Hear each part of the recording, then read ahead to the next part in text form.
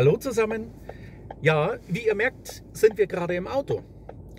Ich bin auf dem Weg in meine Lieblingspfarrei. Die Pfarrei, in der meine ersten Videos entstanden sind. Die Pfarrei, in der Popcorn entstanden ist.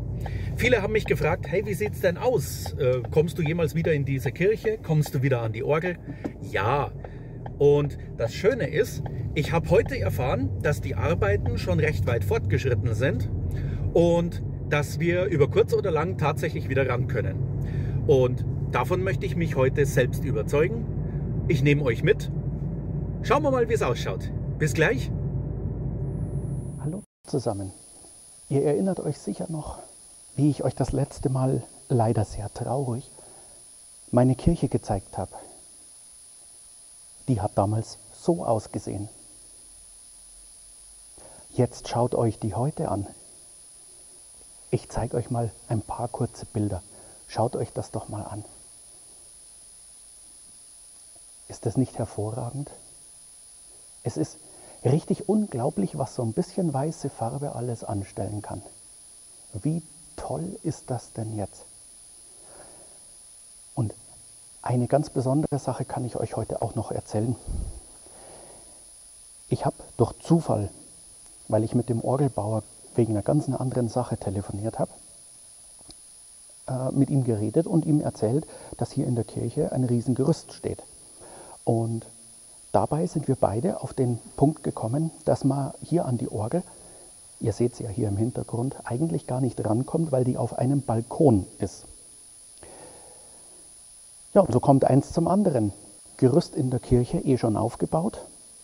Man müsste um an die Prospektpfeifen zu kommen, um sie zu intonieren oder zu reinigen, von vorne mit einem Gerüst ran. Na, was liegt dann näher, wenn das Gerüst schon da ist? Nutzen wir es doch gleich. Ich habe das Ganze angestoßen und ich kann wirklich mit Stolz erzählen und berichten, jetzt, wo die Kirche fertig ist und damit zu rechnen ist, dass auch kein großartiger Dreck mehr in der Luft rumschwirrt, bekommen wir eine Orgelreinigung. Das letzte Mal ist, soweit ich weiß, vor 20 Jahren diese Reinigung durchgeführt worden. Ihr könnt euch vorstellen, was da hinten drin für ein Dreck ist, allein wenn ihr daran denkt, wie hier die Wände ausgesehen haben. Wir bekommen eine Orgelreinigung. Die Pfeifen, und zwar alle 1500 Pfeifen, werden rausgenommen, werden gereinigt, werden wieder eingesetzt, neu intoniert, wenn nötig. Und dann haben wir hoffentlich in ein paar Wochen wieder eine wunderschöne Orgel in einem schönen, hellen, neuen Kirchenraum. Neu. Ich halte euch auch weiterhin auf dem Laufenden. Vielleicht gelingt es mir zwischendurch hier einen Zwischenstand zu zeigen, wie es da oben aussieht.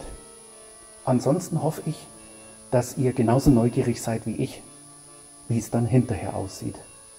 Und eins dürft ihr mir glauben, sobald hier alles aufgeräumt ist und die Orgel tiptop in Ordnung ist, da vergehen keine 24 Stunden und dann sitze ich da wieder dran.